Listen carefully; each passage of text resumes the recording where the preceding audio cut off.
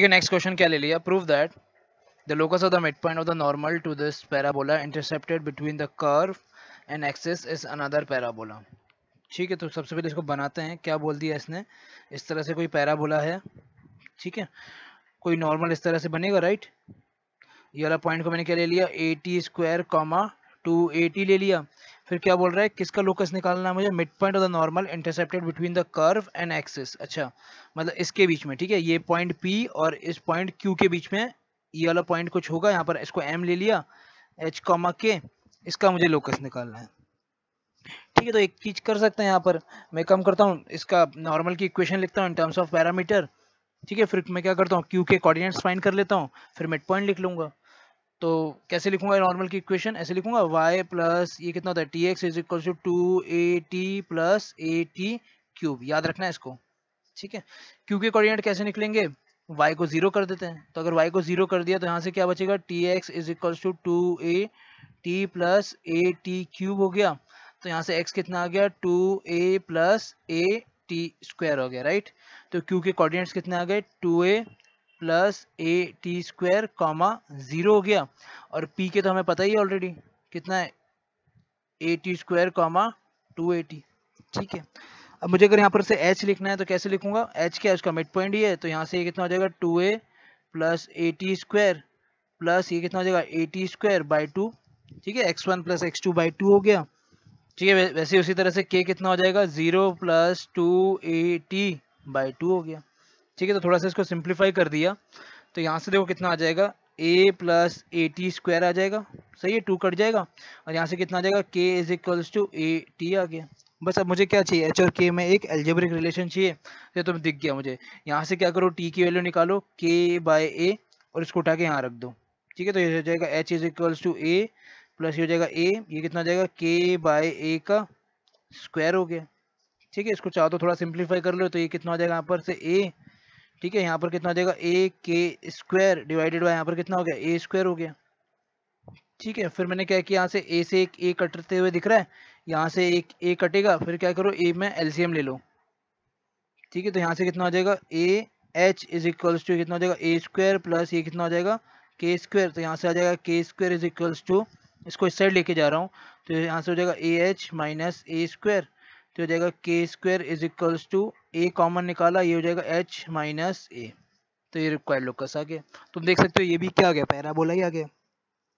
इसको तुम कन्वर्ट कर सकते हो, ये कितना हो जाएगा y square is equals to a x minus a हो गया। ठीक है शिफ्टेड पैराबोला हो गया। I hope this is clear ठीक है, मैं यही प्रूफ करना था ना पैराबोला आ जाए। तो ठीक है पैराबोला आ गया। अब इसके लिए अगर वो पूछता है कुछ निकालो लेटेस्ट रेक्टम निकालो तो तुम निकाल सकते हो इजीली लेटेस्ट रेक्टम तो यहाँ पर कितना हो जाएगा?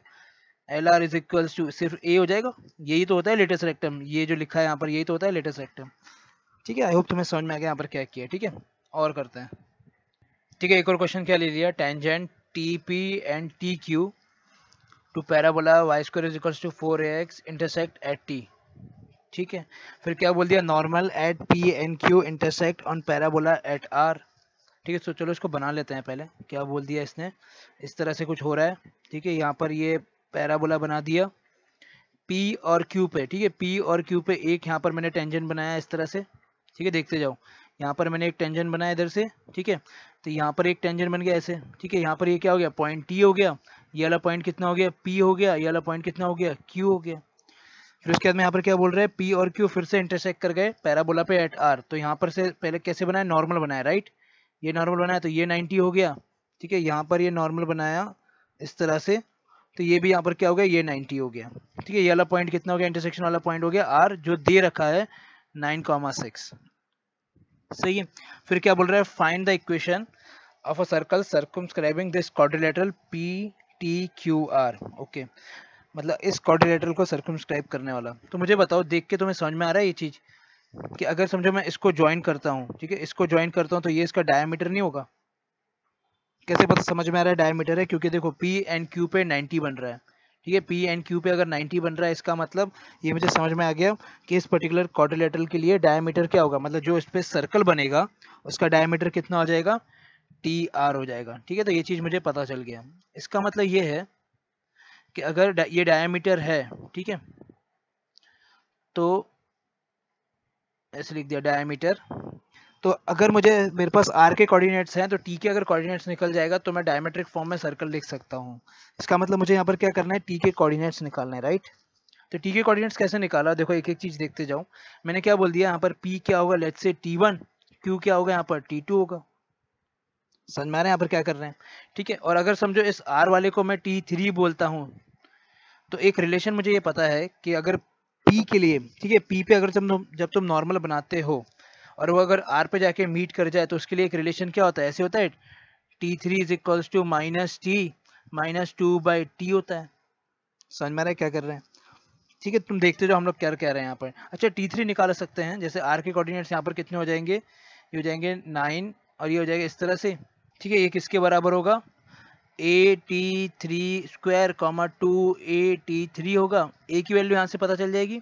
अच्छा इसको मान लो, इस तरह से मान लो, ठीक है? ए को निकाल दो इधर फोर एक्स बोल दो। ए को मैंने मतलब यहाँ पर क्या बोल दिया? वन बोल दिया। ऊपर देखो इधर, ठीक है? ए को मैंने वन बोल दिया। Y square is equals to four x a नहीं आएगा, क्योंकि अगर ए आया होता तो आर के कोऑर्डिनेट्स भी ए के टर्म्स में लिखे होते हैं। ठीक है? तो ए यहाँ पर कितना है? लेट से वन हो गया।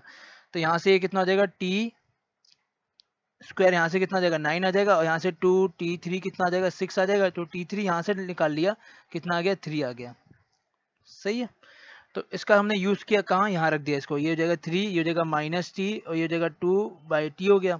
इसको तुम क्या करो? सॉल्व कर लो। क्वाड्रेटिक बना लो। तो यहाँ से कितना आ जाएगा? Three t is equals to यहाँ पर कितना हो गया? माइनस टी स्क्वायर और यहाँ से कितना हो जाएगा? टू हो जाएगा राइट इसको इधर ले जाओ तो ये कितना हो जाएगा? T square plus three t ये जाएगा plus two is equals to zero तो यहाँ से कितना आ जाएगा? प्लस टू और plus one equals to zero आ रहा है। तो यहाँ से टी की कितनी वैल्यू हो गई? एक तो माइनस वन हो गई और एक तो माइनस टू हो गई।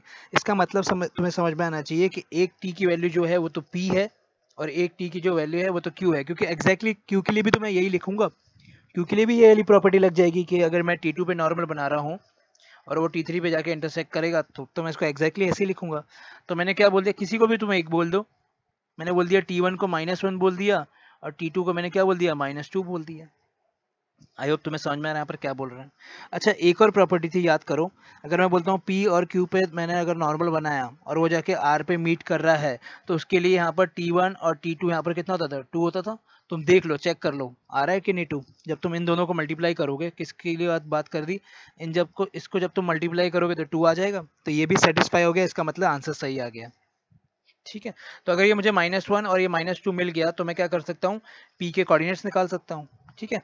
और पी के कोऑर्डिनेट्स निकालने से अच्छा मुझे बताओ पी के पी और क्यू के कोऑर्डिनेट्स निकालने का कोई फ़ायदा नहीं है। क्यों फ़ायदा नहीं है? क्योंकि मुझे तो डायरेक्ट टी के कोऑर्डिनेट्स निकालने हैं। तो टी के कोऑर्डिनेट्स मैंने डायरेक्टली निकाल दिए कैसे निकाल दिए? मुझे पता है पी और क्यू पे अगर कोई टेंजेंट बनाते हैं तो टी जो बनता है, कैसे बनता है टी याद करो, ऐसे बनता है a t one t two comma ये होता है a t one plus t two that is G M and A M ठीक है तो यहाँ से ए तो कितना है? वन है और टी वन और टी टू भी मुझे पता है तो मैं डायरेक्टली टी के कोऑर्डिनेट्स निकालता हूँ। मैं क्यों पी और क्यू के कोऑर्डिनेट्स निकाल के टाइम पास करूँ? ठीक है तो यहाँ से कितना हो जाएगा? ये वन हो गया, ये माइनस वन हो गया, ये कितना हो जाएगा? माइनस टू हो गया।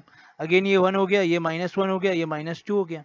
तो तुम देख लो, आगे टी के कितने कोऑर्डिनेट्स आ रहे हैं यहाँ पर? ये हो जाएगा टू और यहाँ पर ये कितना हो जाएगा minus three. I hope this is clear बस तुम्हें टी पता चल गया, तुम्हें आर पता है तो तुम क्या कर सकते हो इसका? सर्कल की इक्वेशन लिख सकते हो डायमेट्रिक फॉर्म में। क्या आ जाएगा ये? X माइनस टू ये जाएगा x माइनस नाइन प्लस यहाँ से क्या आ जाएगा? वाई प्लस थ्री ये हो जाएगा y minus six is equals to zero इसको तुम ओपन करो सर्कल की इक्वेशन आ गई। Circumscribing this particular quadrilateral P T Q R I hope समझ में आ गया क्या किया। ठीक है?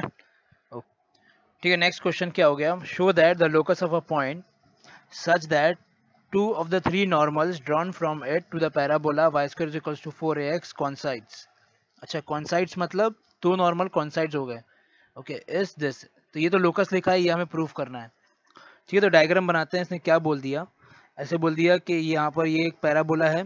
ठीक है, कोई यहाँ पर एक पॉइंट होगा लेट्स से पी जिसका हमें क्या चाहिए? लोकस चाहिए।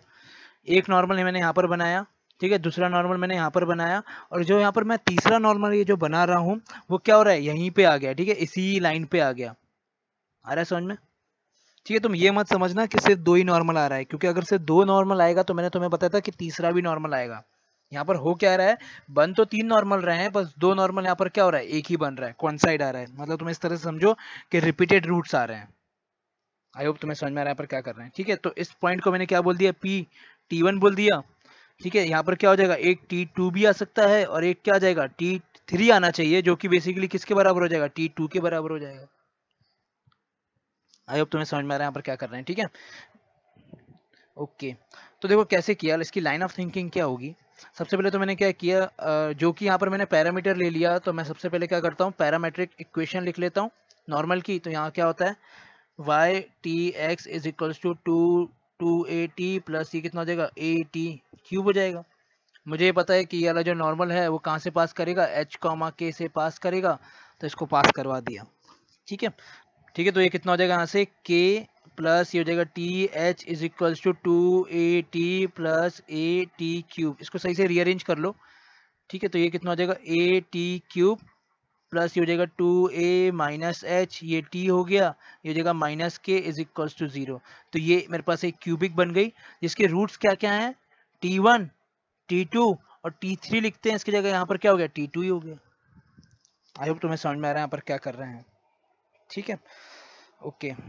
अब एक ही चीज़ में यहाँ पर क्या लिख सकता हूँ? मुझे यहाँ से ये पता है कि that is t one plus t two plus t three होता है, उसकी जगह यहाँ पर क्या हो गया? टी टू कितना होना चाहिए यहाँ पर? ये हो जाएगा ज़ीरो हो गया। ये तो मैं पता ही है the sum of the parameters for the co normals ठीक है को नॉर्मल ही है ये। को नॉर्मल क्या होना चाहिए? ज़ीरो नेक्स्ट मुझे यहाँ पर क्या पता है? T one t two plus t two t three की जगह टी टू अगेन फिर टी थ्री टी वन की जगह t two and t one कितना हो गया यहाँ से? निकाल सकते हो ये चीज़? ये कितना हो जाएगा? Two a minus h by a हो गया। और लास्ट वाला ये हो जाएगा टी वन टी टू और टी थ्री की जगह टी टू अगेन कितना हो गया ये यहाँ से? के बाय ए हो गया। थ्योरी ऑफ़ इक्वेशन से लिख रहे हैं प्लस माइनस साइन का ध्यान देना। तो चलो यहाँ से ये आ गया। अच्छा ये तो एग्जैक्टली exactly वैसा ही क्वेश्चन हो गया जो थोड़ी देर पहले किया था मैंने। बस यहाँ पर कंडीशन चेंज हो गई। वहाँ पर मैंने क्या बोला था? M1, M2, M3 जो था जो एक्स एक्सिस पे जो काट रहा था वो AP में था। यहाँ पर क्या बोल दिया? एक ही हो गया। तो लाइन ऑफ़ थिंकिंग एग्जैक्टली वैसे ही हो रही है यहाँ पर। ठीक है तो तुम देखो यहाँ पर क्या करेंगे? अगर लाइन ऑफ़ थिंकिंग एक्जैक्टली वैसे ही हो गया तो मैं कोशिश करूँगा यहाँ से कि किसी ना किसी एक की वैल्यू आ जाए। या तो टी वन की वैल्यू आ जाए, या तो टी टू की वैल्यू आ जाए। और जैसे ही टी की वैल्यू आएगी, मैं क्या बोलूँगा फिर से? कि ये जो क्यूबिक लिखा है, ठीक है बॉक्स के अंदर, ये जो क्यूबिक लिखा है, इसको टी वन सेटिस्फाई करेगा। तो मैंने इसको टी वन सेटिस्फाई करा दिया। और जो टी वन मुझे मिला है, वहाँ से मैं क्या करूँगा, इसमें सब्सिट्यूट कर दूँगा तो एच और के में एक रिलेशन आ जाएगा। आई होप तुम्हें समझ में आ रहा है मैंने क्या बोला। ठीक है तो रुक जाओ, समझ में आ जाएगा सब कुछ। तो चलो एक एक चीज़ किया। जैसे इससे मुझे क्या मिल रहा है? फ़र्स्ट वाले से, यहाँ से मुझे क्या मिल रहा है? यहाँ से मुझे मिल गया टी वन प्लस ये कितना जाएगा? Two t two is equals to zero तो यहाँ से मैं क्या बोल सकता हूँ? टी वन कितना हो गया? माइनस टू टी टू हो गया। ठीक है, अब इसका क्या यूज़ कर सकते हैं? इसको उठा के यहाँ लिख देता हूँ मैं। ठीक है तो यहाँ पर ये कितना हो जाएगा? टी वन की वैल्यू सब्सिट्यूट कर रहा हूँ तो ये हो जाएगा माइनस टू टी टू और ये जो टी टू लिखा है तो दो बार लिखा ही है ऑलरेडी तो ये कितना हो गया? Square this is equal to k by a हो गया। सही है? ओके तो यहाँ से मेरे पास क्या क्या मिल रहा है? ये हो जाएगा t two right t two का क्यूब कितना मिल गया? माइनस के बाय टू ए हो गया। सही है? चलो टी टू की वैल्यू निकाल दी। फिर मैं यहाँ पर क्या बोलूँगा अगेन कि मुझे पता है कि ये जो क्यूबिक लिखा है, इसमें टी टू सेटिस्फाई करेगा तो मैंने इसको क्या किया? सेटिस्फाई करा दिया। तो ये कितना आ जाएगा? A t two cube plus यहाँ पर हो जाएगा टू ए माइनस एच हो जाएगा। ये यहाँ पर कितना हो जाएगा? T two minus k is equals to zero हो गया। बस अब तुमको क्या करना है? टी टू की वैल्यू उठा के लिखना है। तो कैसे बताया था? याद करो। मैंने बोला था क्यूब वाला तो डायरेक्टली लिख दो। और जो ये वाला है, कौन सा? ये वाला, इसको ऐसे नहीं लिखेंगे, इसको क्यूबिंग करके लिखेंगे। ठीक है? तो मैं क्या कर सकता हूँ? डायरेक्टली क्यूबिंग कर सकता हूँ। कैसे डायरेक्टली क्यूबिंग कर दिया? इस वाले फैक्टर को एक साइड ले आओ। टू ए माइनस एच इसको इधर रखा, बाकी को इधर ले जाओ के माइनस ए टी टू ये जो क्यूब है, इसका मैंने यहाँ पर क्या किया? अगर मैं इसको यहाँ पर क्यूब करता हूँ, ठीक है तो क्यूब कहाँ कहाँ आ जाएगा? एक क्यूब यहाँ आ जाएगा और एक क्यूब यहाँ आ जाएगा। आई होप समझ में आ रहा है यहाँ पर क्या कर रहे हैं। ठीक है तो फिर तुम क्या करो, इसको उठा के लिख दो। तो ये कितना हो जाएगा? ये हो जाएगा टू ए माइनस एच इसका क्यूब है। ठीक है, यहाँ से कितना आ जाएगा? माइनस के बाय टू ए आ गया। टी क्यूब की वैल्यू डाल रहे हैं, ठीक है? टी टू क्यूब की। और यहाँ से ये कितना आ जाएगा? ये हो जाएगा के माइनस माइनस ऑफ़ माइनस ये कितना हो जाएगा? ए तो ऑलरेडी है तो ये हो जाएगा के बाय टू ए आ गया, ठीक है? इस पूरे का क्या है? क्यूब है। बस अब इसके आगे तुम करो, इसको सिंप्लीफाई करो और चेक करो, ये जो गिवन है, देखिए, जिसको मैं बॉक्स बना रहा हूँ, ऊपर देखो, क्या ये आएगा कि नहीं आएगा? वैसे आ जाएगा, ठीक है? दिख रहा है, देखो। एक थ्री बनेगा थ्री बाई टू जैसे यहाँ पर क्या बन जाएगा? ये थ्री बाई टू बनेगा तो ये ट्वेंटी सेवन बाई फोर बनेगा, इस तरह से कुछ ट्वेंटी सेवन बाई एट बनेगा सॉरी ठीक है? तो इसको कैलकुलेट कर लेना, अपने आप आ जाएगा। कर लेना इसको, ठीक है?